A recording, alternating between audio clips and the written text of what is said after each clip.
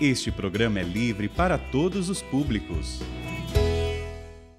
Nós vamos rezar com a carta de Efésios, capítulo 6, versículos 10 ao 12. E a palavra de Deus diz assim para nós, nessa terça-feira santa: Enfim, fortalecei-vos no Senhor, no poder de Sua força. Revesti-vos da armadura de Deus, para que possais resistir às ciladas do diabo. Pois a nossa luta não é contra o sangue e a carne, mas contra os principados, as potestades, os dominadores deste mundo tenebroso, os espíritos malignos espalhados pelo espaço. Palavra do Senhor. Graças, Graças a, Deus. a Deus. Quando eu encontrei com o Valmir, antes de estarmos aqui no palco, nós estávamos conversando sobre esta realidade. Que nós precisamos tomar consciência de que nós acordamos para lutar. Sim ou não? Quem acordou aí para lutar, diga eu. Tenho certeza que muita gente em casa está erguendo a mão conosco, dizendo: é verdade, eu acordo para lutar. Para lutar contra esta realidade que eu estou dizendo para você, de ter esse entendimento, como a palavra está mostrando para nós, a nossa luta não é contra a carne, mas contra os espíritos malignos que andam pelos ares, né? Para causar a nossa perdição. Então nós temos que ter esse entendimento em nossa mente e em nosso coração. E quando você despertar da sua cama, que você abrir os seus olhos, você vai dizer: Eu vou lutar. Sozinho? Não. Com o Espírito Santo. Por isso que o nosso querido Pai Fundador vai nos dizer, né? Ao levantar, ao despertar, bom dia, Espírito Santo. O que vamos fazer juntos nesse dia? Com certeza, lutar para o céu.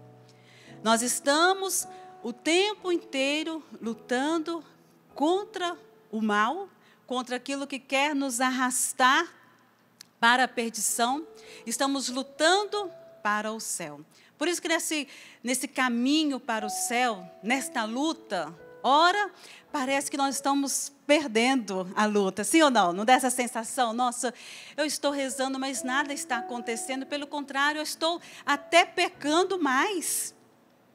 Ora vem aquela sensação de que a nossa luta está sendo em vão.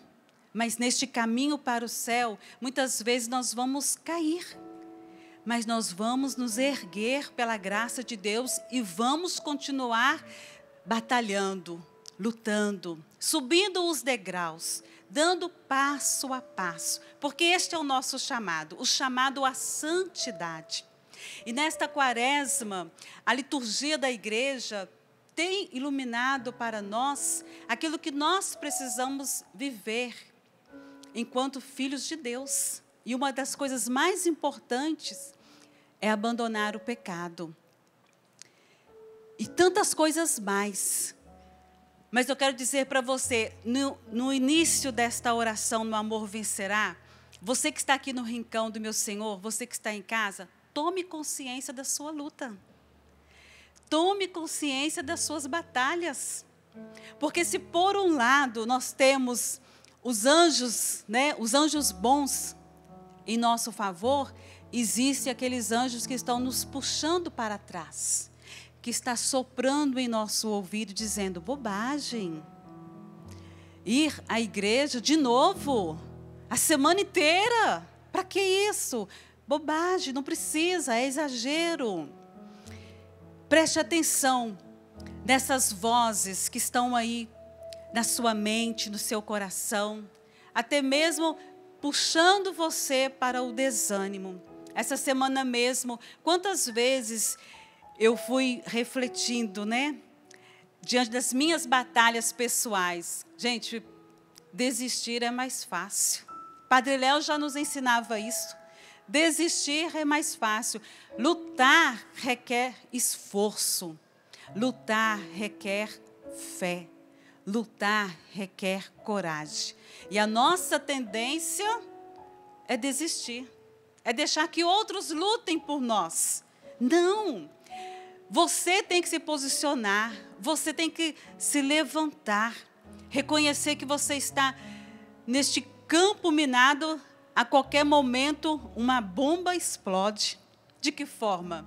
É um acontecimento, é uma notícia, é um diagnóstico. O tempo inteiro nós estamos neste, neste campo minado, onde a qualquer momento aquela bomba explode. E aí vem o desespero. E aí vem a vontade de desistir. Eu sei que muitos em casa, nesta hora, estão entendendo. Você agora está olhando para a sua luta. À medida que eu estou rezando aqui, você está percebendo a sua luta. Como outro dia, uma pessoa estava partilhando comigo da sua alegria. Ela foi promovida a estar num emprego novo e ela estava muito feliz com este emprego. Mas quando ela chegou no emprego novo, ela se deparou com uma situação, luta. Havia uma pessoa lá que a tratava com indiferença, por conta da inveja, por conta de querer estar ocupando o cargo dela, esta pessoa esfriou e a tratava com indiferença. E eu dizia: você está no combate espiritual. Então, agora você precisa rezar por esta pessoa e dar amor. Um exemplo simples, mas para fazer você entender, para você olhar para a sua história, para a sua casa, para o seu emprego, para o seu trajeto e começa a perceber as batalhas. E eu digo uma coisa muito importante: quanto mais vida de oração você tiver, mais você vai perceber as suas batalhas, mais você vai perceber a ação do inimigo. Às vezes está tudo bem, de repente ele põe o rabo, né? Para causar o quê? Confusão, desentendimento, nos colocando uns contra os outros. Que nós possamos neste amor vencerá.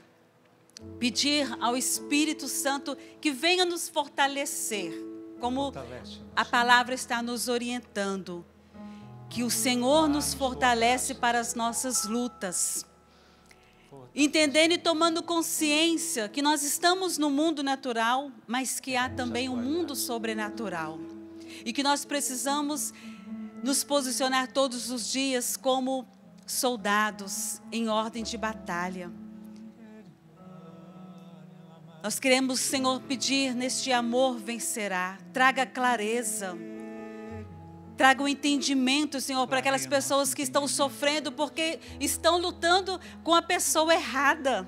E eu digo para você, esposa, marido, mãe, não é o seu filho, não é o seu marido, não é a sua esposa, não é o vício. Há uma força do mal que quer corromper a pessoa humana, que quer corromper a família. Por isso nós estamos vendo aí muitos testemunhos chegando para nós pessoas que estão se entregando em oração, estão testemunhando verdadeiros milagres. Porque, Padre Alessandro, onde a graça de Deus chega, o mal vai embora. Você está falando de batalha espiritual? E é preciso que você, meu irmão, minha irmã, entenda uma coisa. Que se você não entender isso, você não vai compreender o que é batalha espiritual. Você precisa entender que há uma vida eterna. Você precisa aceitar que existe uma eternidade. Porque se você vive a sua vida como se fosse só desse tempo, para que você vai batalhar? Para que você vai correr atrás? Para que você vai vencer os seus vícios, as suas fraquezas? Se você não compreende que a sua vida está destinada para o eterno, que a sua vida após esta caminhada nesta terra tem uma continuidade, você não vai compreender a força da batalha espiritual. Mas quando você compreende isso, que você está destinado para Deus, e a vida eterna é estar em comunhão eternamente com Deus, você vai entendendo por que você enfrenta tantas coisas. Não há coincidências nas coisas, não há acaso. Tudo que, tudo que te acontece tem uma razão de ser. E sabe qual é o pilar de sustentação da batalha espiritual? Não é você se você pensa que o diabo tenta a sua vida porque ele te quer, você está enganado. Se você está pensando que você é importante para o diabo, você está enganado. Tudo que o diabo deseja é ofender a Deus através da sua vida. Lembra da história de Jó? Quando Satanás se apresenta diante de Deus e fala: Ah, está vendo aquele homem ali que é fiel a você? Eu tenho certeza que se ele perder todas as coisas, ele vai te negar. É o que, que Deus diz ao diabo: tudo bem, você pode tocar em tudo, menos na vida. Porque a sua vida tem um Senhor, tem um dono que é Deus. Meu irmão, você pode perder todas as coisas, você pode perder todas as pessoas da sua vida, mas nunca perca a sua fé em Deus. Porque quem tem fé em Deus não perde nada. As coisas que saem, as coisas materiais que saem, são livramentos. As pessoas que nós perdemos, na verdade, nós entregamos a Deus. E aí as batalhas que nós vamos vivendo, a gente vai entendendo. Porque quanto mais você for de Deus, mais dificuldades você vai enfrentar. Guarda isso no seu coração. Por quê? Porque o diabo não quer que você seja de Deus. Então ele vai com toda voracidade sobre você, sobre as suas coisas, sobre as suas finanças, sobre a sua família, sobre o seu casamento, porque todas as vezes que nós caímos no pecado, todas as vezes que nós nos afastamos de Deus, é vitória para o inimigo. Por quê? Porque você é importante para Deus. Ele não se importa com você, o diabo não se importa com você, mas ele quer ofender a Deus. É aí que está o pilar da batalha espiritual. Não é o problema pelo problema, não é a dificuldade pela dificuldade, mas é o resultado disso, que é o inimigo querendo dizer para Deus: está vendo? O padre Alessandro não é fiel a você porque ele não te ama. A Sônia, ela perdeu mais uma batalha porque ela não acreditou no Senhor. Está vendo o Valmir aqui? Mais uma vez ele escorregou porque ele não adora o Senhor. Então, todas as nossas quedas é para que o inimigo possa ofender a Deus. Se você precisa entender que você está dentro dessa realidade espiritual, mas, precisa entender uma coisa, e aqui eu vou encerrando muito mais importante. Em todas as batalhas espirituais que nós entramos, nós já temos a vitória em Cristo Jesus. Para aquele que tem fé, para aquele que vive como filho amado de Deus, para aquele que vive debaixo do senhorio de Jesus Cristo, toda batalha já é ganha. E é isso que você precisa entender. A sua batalha já tem uma vitória, e essa vitória está em nosso Senhor Jesus Cristo. Eu tenho certeza que todas as batalhas que a Sônia já enfrentou, a vitória aconteceu por causa de Jesus. Todas as batalhas que o Valmir, os meninos aqui enfrentaram, a vitória é nosso Senhor. A sua também será. Creia, tenha firmeza, não desista de Deus, não desista daquilo que Deus pode fazer por você. Batalha pode ser grande, mas Deus é muito maior. E Deus está erguendo muitos de nós nas batalhas que nós temos. Enquanto o padre foi falando, Valmir, me vinha aquela sua música, que eu já rezei muitas vezes com ela. Erga-te, pois, Deus te fez um vencedor, celebre. celebre a vitória. E nós poderíamos rezar e ministrar esta música, convidando você que está aqui no Rincão, você que está em sua casa, preste atenção na letra desta música olhando para suas lutas, saiba que você é um eleito de Deus, uma escolhida de Deus. E ao olharmos para a cruz nesta semana maior, nós também contemplamos a nossa vitória.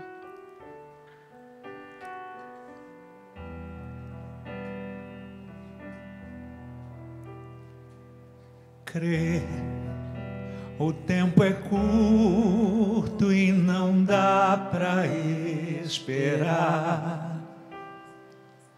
Tu não vês. O tentador só procura te enganar, dizendo que tens mil motivos, enfim, para tudo abandonar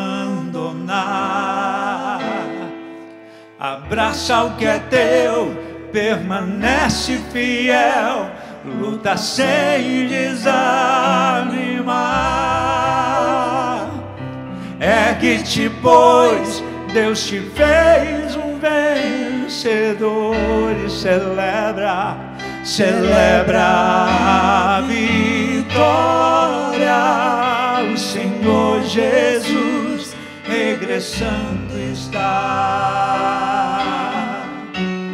Vitória, canta com unção tua vida, celebra a vitória. O Senhor Jesus regressando está.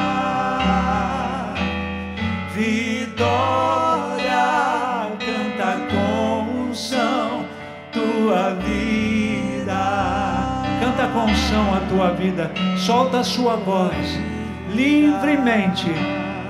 Entra na presença daquele que tudo pode. A batalha é do Senhor. Você não precisa batalhar sozinho. Você não precisa lutar sozinho. O Senhor vai à frente. Ergue a su- a sua mão se puder, à sua frente, assim, ergue mesmo, tomando posse. E repita depois de mim, por favor. A minha casa A minha casa é do Senhor Jesus Cristo. é do Senhor Jesus Cristo. Fora Satanás. Fora É Satanás. mal que me oferece. É mal que tu me ofereces. A minha família A minha família é do Senhor Jesus Cristo. é do Senhor Jesus Cristo. Fora tentador. Fora Na tentador. minha família. Na minha Na minha família. casa. Na minha Não casa. tem espaço para você. Não tem espaço para E vai você. cantando livremente. Ele é. Deixa os anjos cantar junto. E ela e lalalire. Os anjos do Senhor também batalham por você. Solta a sua voz, e e e e ela malalalala,